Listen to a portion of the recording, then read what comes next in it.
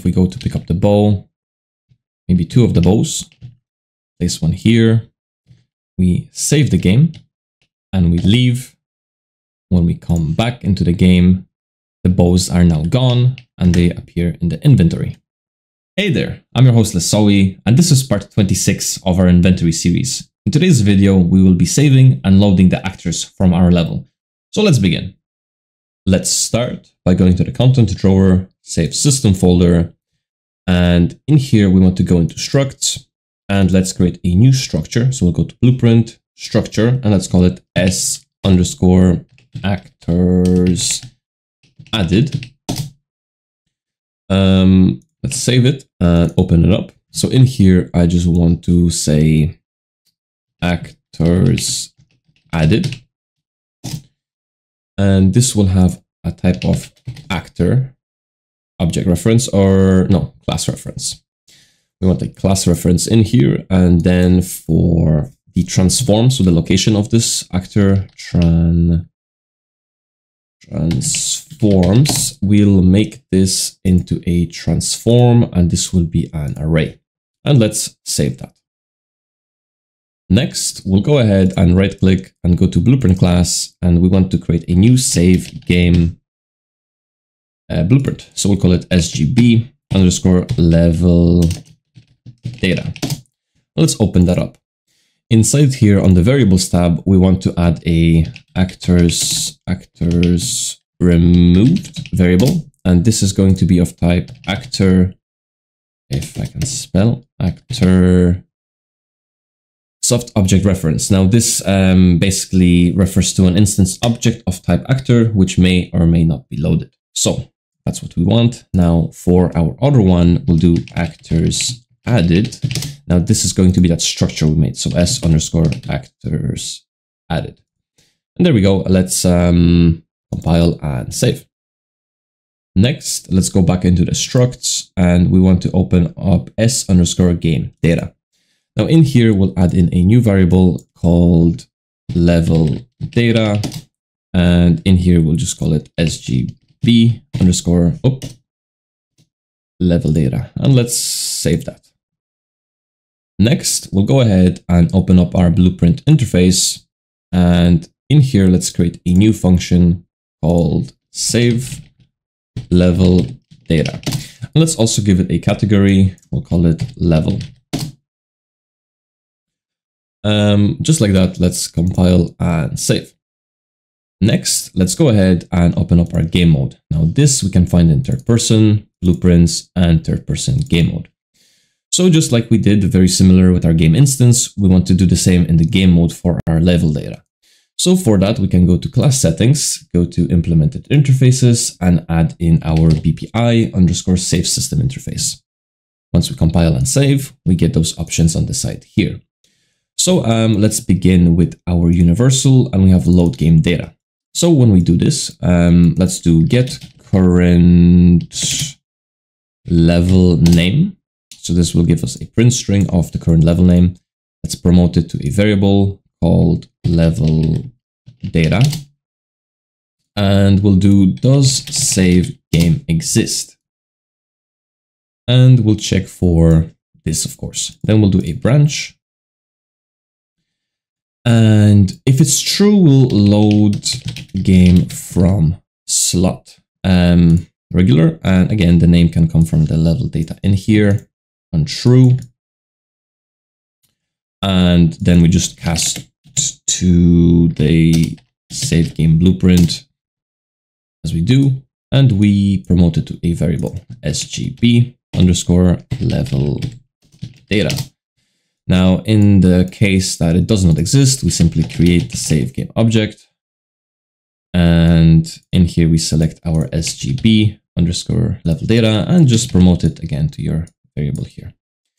That's all we got to do. So let's um, compile and save. Next, let's also get a event begin play. And this essentially is like an event initialize in our game instance. Here we just want to do load game data. And you want to make sure it's not your save system, but it's your third person game mode. It's the game mode that you're making this um, function have the logic in. So this one here. Next, let's go to get game data, open this up. And in here, we just want to grab our save game level data, make, and because we do not have the player data in here, we just put in our level data and we hide. And let's compile and save. Next, let's go ahead and do the save game data. So in here, what we'll do is we want to get the level data. We want to get the level data name and do save game to slot. So we have the slot name and we have the save game object. And that's pretty much it. Let's compile and save. Next, we want to go ahead and take care of actually saving the level. So on the very left-hand side, when we have universal, we want to go to level and we have save level data. So let's double click on that. In here, what I want to do is I want to call this blueprint here. So we can do save game data. And again, make sure it's your third person game mode. And let's um, create a new function, which we can call get actors removed. And in here, I want to get my save game level data we want to do actors removed.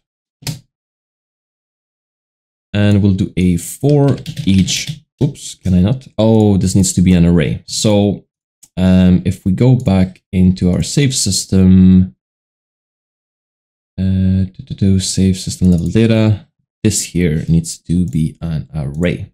So let's compile and save it. Let's go back. This can now do a for each loop like so. And because it's a for each loop now, what we can do is we can do a resolve, soft reference. Now we have this actor and we can destroy this actor. Like so. And uncompleted, we'll just do a return node. Uh, there we go. And let's compile and save. For our next function then, let's go ahead and call it get actors added. So um, let's go ahead and do again level data, do get actors added. Um, we'll break this open and I made a mistake yet again. Yes. So in here, then we want actors to also be an array. So we'll go back in here or not here. We need to go back into the structure actors added. And this needs to be a soft class reference, first of all, and needs to be an array. So let's save that. Now we can fully exit. We don't have to go back there anymore. So now we can do a for each loop like that, and let's connect it to the start. And from the array element, we can do resolve, soft reference. Now we have the class reference. And if we have the class reference, we of course can do a spawn actor from class, this being the class.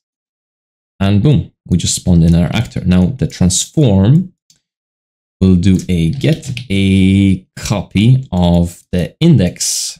So each array or each actor is going to have a transform now. This will go in here. Collision, you, I always want to spawn it. So always spawn ignore collisions. Um, and let's do a return node at the very end when everything has been completed. And I'm happy with how this looks, so let's compile and save. With that completed then, let's go back into our load game data. And if the game data does exist, what we want to do is we want to get the actors added first. And then we want to get the actors removed. And that's us done in this blueprint. Let's compile and save. So I just realized that I made a mistake. I've been doing this code in the third person game mode while we already have our own game mode already existing in here that we made earlier. Now, this is not an issue. Um, simply, if that's the case, we won't be using the hero game mode anymore. Go to settings, world settings, and in the world settings on your game mode override, just switch from uh, hero third person and just make sure you change the controller accordingly as well. So hero controller and everything else should be the same. Otherwise, you can just copy paste the code and put it into your hero game mode if you want.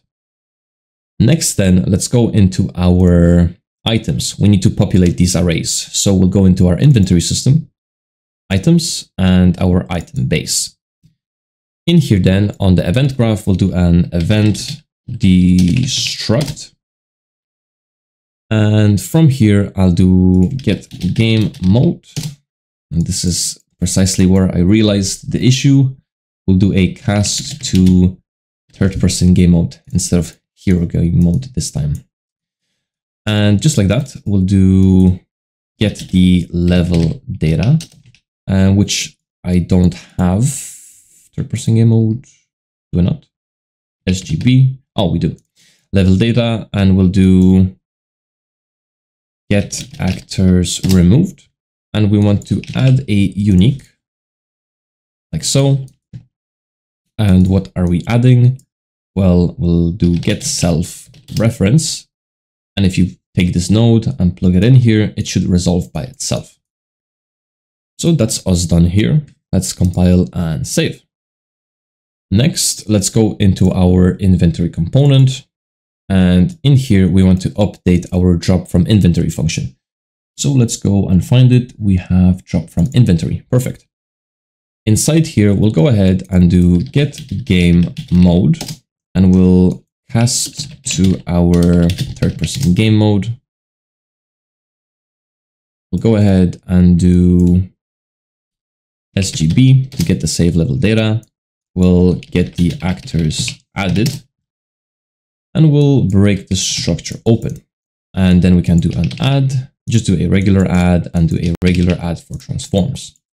Now your actor class reference will come from the item. So we can just steal this. We get the item ID, item data, we break that open and we get the item class. So control C, control V, and this will resolve itself in there. And then for the transforms, we simply go at the very back of the spawn actor, do get actor transform, and that's us pretty much done. Let's just aim that correctly in there. And yes, that looks okay to me. So let's uh, compile and save. Next, let's go ahead and open up our function library. So we'll go to our save system, um, BPFL, save system, and let's create a new one called save level data. In here, what we'll do is we'll get the game mode and do save level data message. So with that done, lastly, we need to include this in our save system. So go to wherever you're actually saving the game. In my case, it's the hero controller.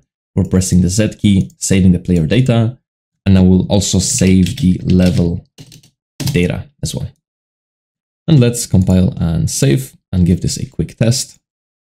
So just before running this, I've cleared the saves. So let's hit play and we have nothing in here. If we go to pick up the bow, maybe two of the bows, This one here, we save the game and we leave. When we come back into the game, the bows are now gone and they appear in the inventory. So this is it for the video. In the next episode, we will be saving the container data. And with that said, I hope you enjoyed. And if you did, leave a like. And as always, happy developing.